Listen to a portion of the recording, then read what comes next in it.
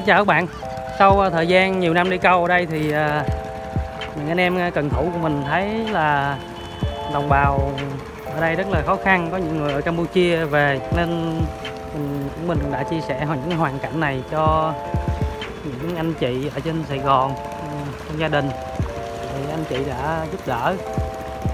À, chúng mình thì không có cái công lao gì hết chỉ cái việc là chuyển quà của anh chị xuống đây thôi phần quà gồm có dầu ăn các bạn nước mắm nè, à, nước tương nè đường bột ngọt muối gạo sữa.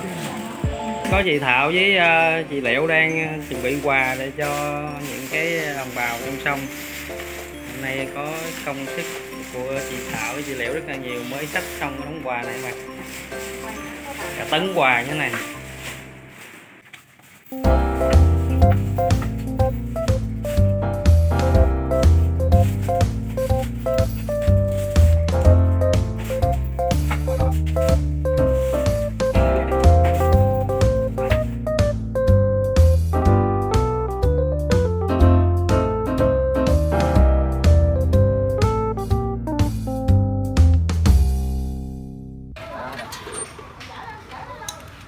bờ sông ở dưới nha bạn nha. Tới nơi, đã tới nơi rồi. Hôm nay có nhà Sáu.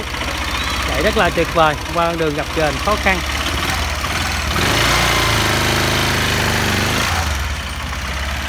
Bây giờ quà sẽ đưa xuống ờ, tận sông để chuyển cho mấy ờ, gia đình khó khăn ở đây. Hy vọng là một ít quà thì cũng làm cho người ta vui nhiều, niềm vui nó nhiều. Ờ, trong mùa trung thu này thì ở trong đây thì cái nhu cầu bánh không lớn, mà cái nhu cầu thực phẩm hàng ngày thì quan trọng, nên là các anh chị trên Sài Gòn, đặc biệt là nhóm của chị Ánh đã chuyển những phần quà này đến bà con ở đây. Mong rằng là món quà nhỏ này sẽ làm thêm cho bà con ở đây vui thêm cái mùa trung thu. Đây là anh Thanh nè.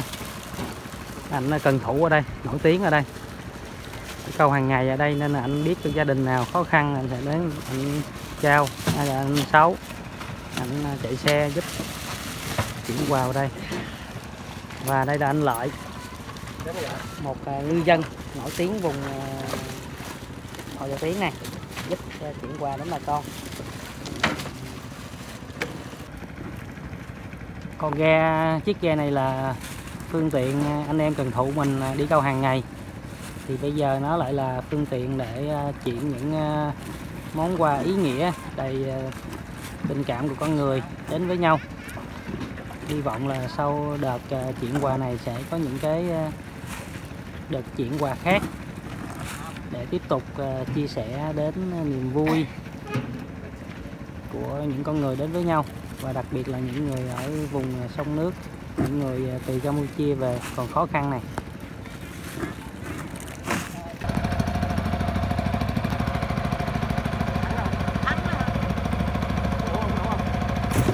Cảm ơn nghe chú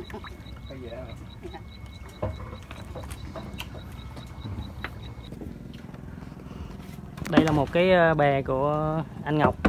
À, gia đình ở Campuchia về thì cũng đang khó khăn. Hôm nay ờ, chúng tôi đến thì anh không có nhà thì chúng tôi có để lại phần quà cho anh lều thì rách nát rồi mùa mưa mà như này nè. Phía dưới thì cây cũng sụp hết rồi. Đây là những khó khăn đây là bà con mình từ Campuchia về cũng rất nhiều gia đình như vậy nha ở đây Duy, con có phần quà chị gì? rồi cảm ơn con mày ơi tao nhờ là cô bác tiếp tế chạy ăn gạo ờ, Hai tháng mấy còn ba tháng à? Nó quỳnh bây giờ. Rồi Dượng nằm vậy là gì phải đi nuôi hả? Ờ, đi bỏ nhà này ở nhà cho chị ba nó bệnh á Bữa con có lên câu Ờ. thấy nhà trong bốc đó mà. Hả? Nhà ông tha hả? Nó ở nhà nó giữ nhà cá mắm bè giả. Hả? Đi hết trơn có hai người à? Nhưng nó đi nuôi ổng ra rồi. bảo hiểm á con ơi? À, Không mua bảo hiểm mà mua bảo hiểm à, ba năm nay đó. Dạ. có mua bảo hiểm chết luôn á. Tiền sao chịu nổi? Chứ cứ từng là 2 triệu, 2 triệu mấy thôi. một tuần 2 triệu Không- tuần không 2 có triệu gì đó. à, rồi nhờ có bảo hiểm đó Dạ.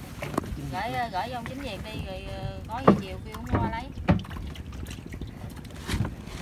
Rồi còn quá đi. Tây ninh hả? Dạ.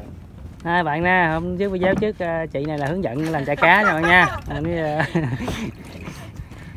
Nếu ai mà có muốn nhu cầu mà ăn cá trả thì gặp chị này.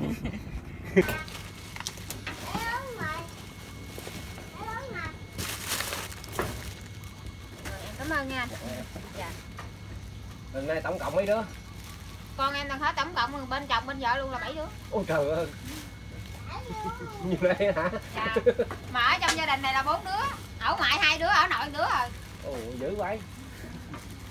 Rồi dự, tính có sản xuất thêm nữa không? Nghĩ rồi anh thanh ơi. Ờ nghĩ cho khỏe. Dạ. Còn sản xuất được cứ sản xuất đi